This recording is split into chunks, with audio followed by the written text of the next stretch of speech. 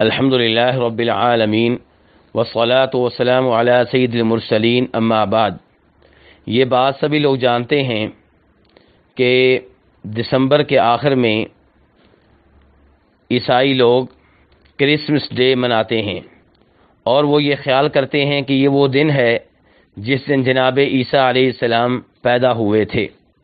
बल्कि वो ये ख्याल करते हैं कि उस दिन अल्लाह के बेटे ईसा आसमाम पैदा हुए थे। नऊदबिल्लामिनदारी का अल्लाह ताला हमें ऐसे कुफरिया लफ्ज़ से महफूज रखे। तो गुजारिश ये है कि देखा गया है कि बहुत से मुसलमान ईसाइयों को इस ईद की मुबारकबाद देते हैं। कई एक ऐसे हैं जो उनकी तकरीबात में शरीक होते हैं। कई एक ऐसे हैं जो उनसे ताउन करते हैं। बहुत से मुसलमान ऐसे हैं जिनकी बेकरियाँ होती हैं, मिठाई की दुकानें होती हैं, वो इस ईद की मुनासबत से ऐसे केक तैयार करते हैं, जिन केकों में कोई ना कोई ऐसी चीज़ होती है, जिसमें इस ईद की तरफ़, इस क्रिसमस डे की तरफ़ इशारा होता है। मिसाल के तौर पे, केक के ऊपर सलीब बनाई गई होगी, या कोई और ऐसी चीज़ बनाई गई होगी, और कई दुकानदार इस मौका पे ऐसे कपड़े बेचते हैं जिन कपड़ों का इस ईद से ताल्लुक होता है। कई लोग इस मौका पे ऐसे कार्ड छापते हैं, जिन कार्ड्स का इस ईद से ताल्लुक होता है। तो बहुत से भाई सवाल करते हैं कि ये सारे अमाल कैसे हैं। गुजारिश ये है कि ये ईद बिल्कुल गलत है, बातल है, दुरुस्त नहीं है। इस्लाम में दो ही ईदें हैं, एक ईद और एक ईद किसी तीसरी ईद का इस्लाम में कोई वजूद नहीं है। और इसकी तायद उस हदीस से होती है जिसे इमाम अबू दाऊद, इमाम अहमद वगैरह रवायत करते हैं, जनाब अनस इबन मालिक रज़ी अल्लाह तु से, कि नबी अलैहिस्सलाम मदीना तशरीफ़ लाए तो मदीना वालों ने दो दिन मुकर कर रखे थे, जिनमें वो खेलते, कूदते थे, जश्न मनाते थे। तो आपने कहा, ये दो दिन कैसे हैं? तो उन्होंने कहा कि हम इन दो दिनों में ज़माने जहालियत से खेलते चले आ रहे हैं। तो नबी अलैहिस्सलाम ने फरमाया, अल्लाह ने इन दो दिनों के बदले में तुम्हें इनसे बेहतर दो दिन दे दिए हैं, एक ईद फितर और एक ईद उल यहाँ पे, इस हदीस पे गौर करना चाहिए, आपने ये नहीं कहा कि तुम्हारी दो ईदें जो हैं, इस्लाम उन्हें भी बरकरार रख रहा है और दो ईदें इजाफी तौर पे इस्लाम दे रहा है, टोटल चार ईदें हो गई। इस्लाम की जो दो ईदें हैं, उनका अहतमाम करो, अपनी ईदें मनाओ, ना मनाओ, तुम्हारी मर्ज़ी है, नहीं। बल्कि नबी अलैहिस्सलाम ने पहली दो ईदों को कैंसिल किया, ख़त्म किया। फरमाया, अल्लाह ने उनके बदले में तुम्हें दो ईदें दे दी हैं। यानी कि तुम्हारी ईदें जो पहले से तुम मनाया करते थे, वो ख़त्म हो चुकी। तो इससे पता चला, किसी मुसलमान के लिए जायज़ नहीं है, वो ईद उल फितर ईद उल अजहा से हटकर सालाना तौर पे कोई तीसरी ईद मनाए अगर कोई ऐसा करता है तो नबी अलैहिस्सलाम की इस हदीस की खिलावर्दी कर रहा है। और ये बात भी हम सबको मालूम है कि जनाब उम्र फ़ारूक रज़ी अल्लाह तु जब ईसाइयों से सुलह की थी तो उन्होंने उन पे जो शरात लागू की थी, उनमें से एक ये भी थी कि वो मुसलमानों के सामने अलानिया तौर पे अपनी ईदें नहीं मनाएँगे। तो इससे आप अंदाज़ा कर सकते हैं कि इस ईद में हिस्सा लेना, इसकी मुबारकबाद देना क्यों कर दुरुस्त होगा? जबकि जनाब उम्र फ़ारूक रज़ी अल्लाह तु उनको इस बात की इजाज़त नहीं दे रहे कि वो मुसलमानों के सामने अलानिया तौर पे अपनी ईद मनाएँ।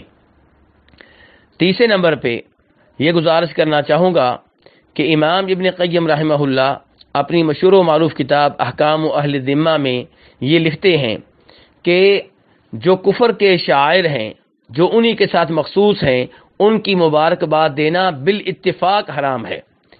मिसाल के तौर पे कोई काफरों को उनके ईद के मौका पे ईद की मुबारकबाद देता है और कहता है कि ईद मुबारक तो ये बिल्कुल गलत है, ये हराम है। इमाम बिन क़य्यम रहमहुल्लाह मजीद फरमाते हैं कि ऐसा करने वाला अगर कुफर से बच गया तो हराम का इरतकाब तो कर ही रहा है। यानी कि वो कहना चाहते हैं कि ऐसे आदमी के काफर होने का भी खतरा है, क्योंकि दीन इस्लाम के अलावा बाकी सब दीन गलत हैं। दो, इन दो ईदों के अलावा बाकी सब ईदें गलत हैं। जब आप उनको, उनकी ईद की मुबारकबाद देते हैं तो ये कुफरिया काम के ऊपर आप मुबारकबाद दे रहे हैं। आप कहना चाहते हैं कि जो ईद आप मना रहे हैं, बिल्कुल सही है, हम भी इसे मानते हैं और ये अल्लाह के मुताबिक है, शरीयत के मुताबिक है।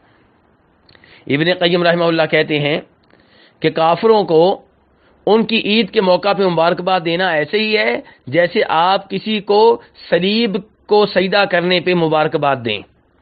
कहते हैं, बल्कि ईद की मुबारकबाद देना इससे भी कहीं बड़ा जुर्म है। और ये ऐसे ही है जैसे आप किसी को शराब पीने पे मुबारकबाद दें।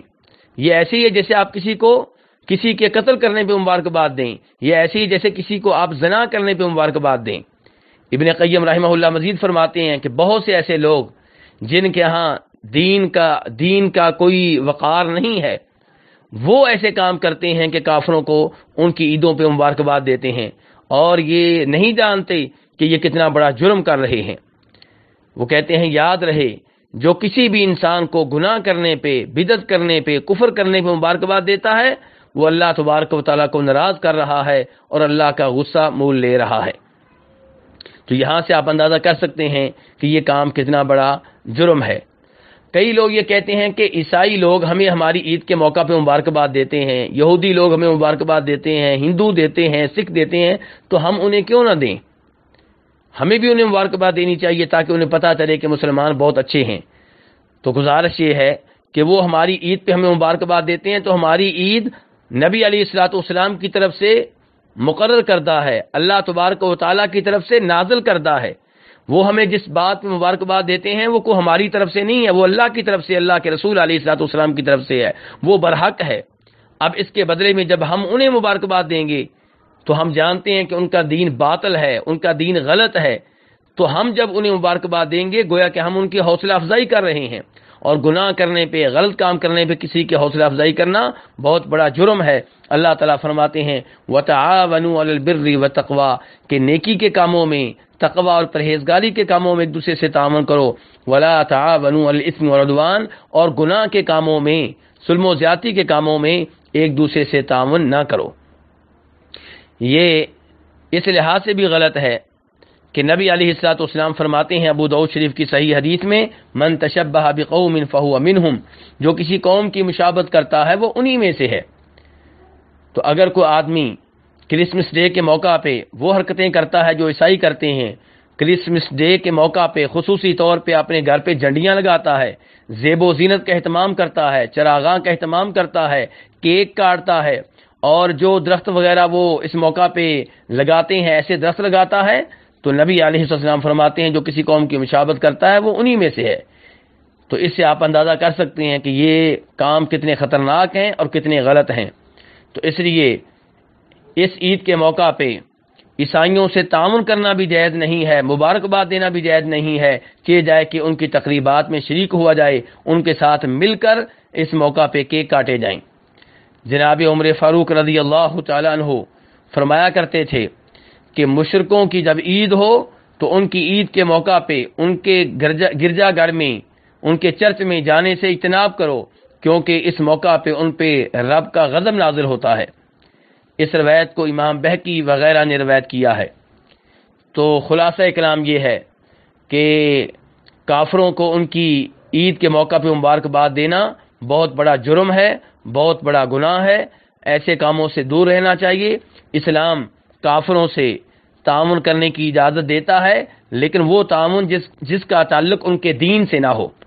मिसाल के तौर पे किसी काफर को आपसे कर्जा की ज़रूरत है मकान बनाने के लिए, घर बनाने के लिए आप कर्जा दे सकते हैं।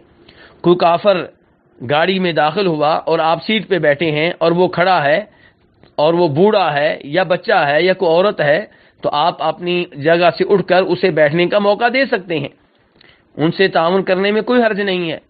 वो काफर जो सादा काफर हैं, जो मुसलमानों पे जुल्म नहीं करते, मुसलमानों की कत्लो गारत में हिस्सादार नहीं है, उनसे अच्छा ताउन करने में कोई अर्थ नहीं है। लेकिन वो तावन जिस जिसका ताल्लुक उनके दीन से हो, वो तावन जो शरीयत के मुनाफी हो, उसकी बिल्कुल इजाज़त नहीं है। अल्लाह तबारक वाली हमें ऐसी हरकतों से, ऐसे अमाल से, ऐसे अकवाल से दूर रखे, जिनकी वजह से रब नाराज़ हो जाए, जिनकी वजह से रब की तरफ़ से लानते नाजिल हों। वसल्ला तबी मोहम्मद व आलि वसहबिहि अजमाइन।